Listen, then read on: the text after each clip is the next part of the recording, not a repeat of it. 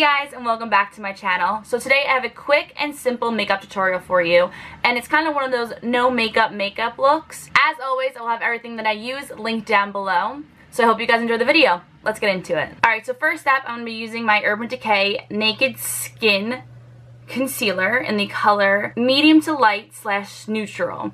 Now my skin tends to have a lot of redness when it is cold and even though it is spring, it's still snowing. So I have a lot of redness in my skin and I want to cover up my dark circles underneath my eyes because I am tired. So I'm going to take that, I'm going to put a little bit underneath my eyes in a triangle formation, a little bit on my chin, my forehead, and then running down my nose. And then I like to put this on my any problem areas, so any areas where I'm a little bit more red than usual or if I have a little blemish. So I like to put this also at the corners of my nose, corners of my mouth, and then any little blemish that I have. So then I'm just going to buff that in using this Real Technique stippling brush. And I don't even know if this is like the right brush to use for uh, concealer. But I don't really like beauty blenders. And I guess it's better than using my finger, right? So once the concealer is blended in, I'm just going to go in my Laura Mercier translucent powder. And I'm not going to bake uh, since I don't have like any crazy contouring or anything going on. I just want to set this so it doesn't crack through the day. So I'm just going to put that on wherever I put my concealer. Just a nice light layer of that. Now I'm going to take my bronzer. I'm using the Urban Decay Beached Bronzer. I love this thing. It just makes me feel like I'm on vacation. As you can see, I hit pan on it. So I'm not going to be contouring, but I do want to hit the spots that I would normally contour in because that's the spots that you normally would get some sun in.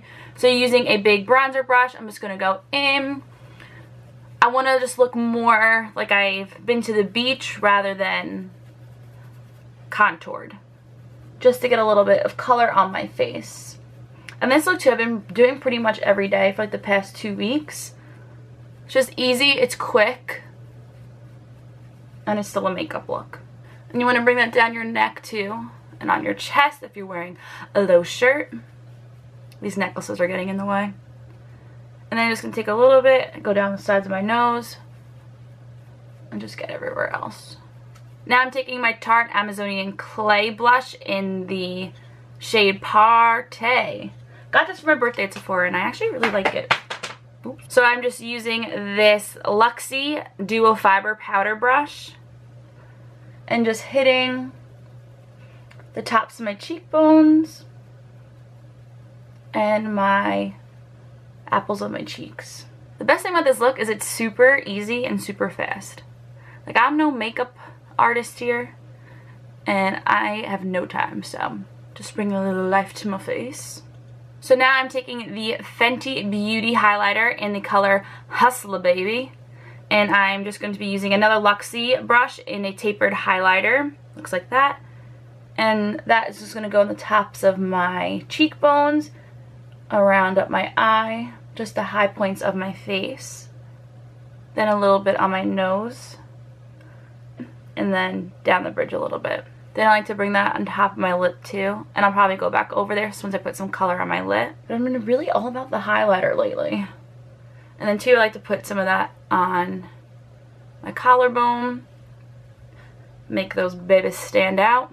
And if I am wearing like an open shoulder or like a tank top shirt, once it gets a little bit warmer, I like to put it on the tips of my shoulders as well. Alright, and now for eyes, I'm going to keep it super simple. I'm just going to take that same bronzer that I was using and just put some color on my lids. Just go in the crease, buff that in a bit, and on the lid a tad. Then, with the same highlighter, I'm just going to put a little of that on my eyes. In no particular spot, just make them shine a bit. But then I'm going to take a small brush and just brighten up my eyes a bit. Put that on the inner corners of my eyes. This just brightens your eyes a little bit. Opens it up. So it's a nice subtle touch. Then I'm also going to take the highlighter and just go underneath my brow bone. Now I don't fill in my brows, but I would assume you want to fill in your brows before you do this just kind of shapes them a bit and brings a little bit more attention to the high points of your face. Now on a day where I have time, I put some eyeliner on and this is the Stila All Day Waterproof Liquid Eyeliner. I use this in all my videos. I've used this for so many years. It is my absolute favorite and I'm just going to put try to put a little line on my eye. Nothing too crazy with the eyeliner because I don't have too much eyeshadow on and I don't want it to look too harsh because we're doing kind of like a no makeup makeup look. So I try my hardest to do a nice little line and I don't go all the way into my eye. I kind of bring it right to where my lash line ends.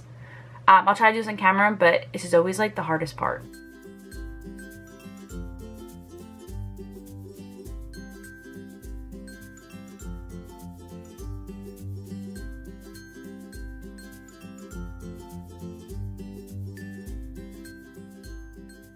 Not too bad. I don't know if that was in camera, but so just a little flick, nothing too crazy. Now I'm going to do the other one. So then uh, to mascara. So I'm just going to curl my lashes. Every time I curl my lashes, I'm afraid that like I'm going to open it and all my eyelashes are going to be gone. I don't know. It's a fear I have.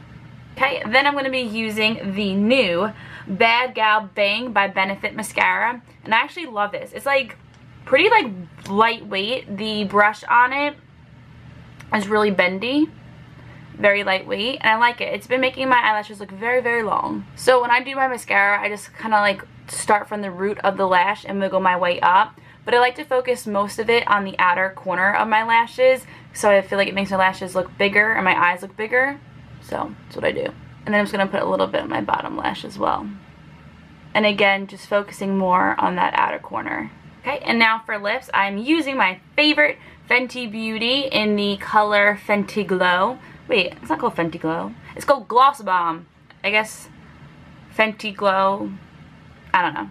I thought this is one of my favorites too. This is a little mini one. I like to keep this with me in my purse when I travel and all that jazz. This is a nice natural color, but gives you a nice glow and a little sheen to your lips. And that, my friends, is it.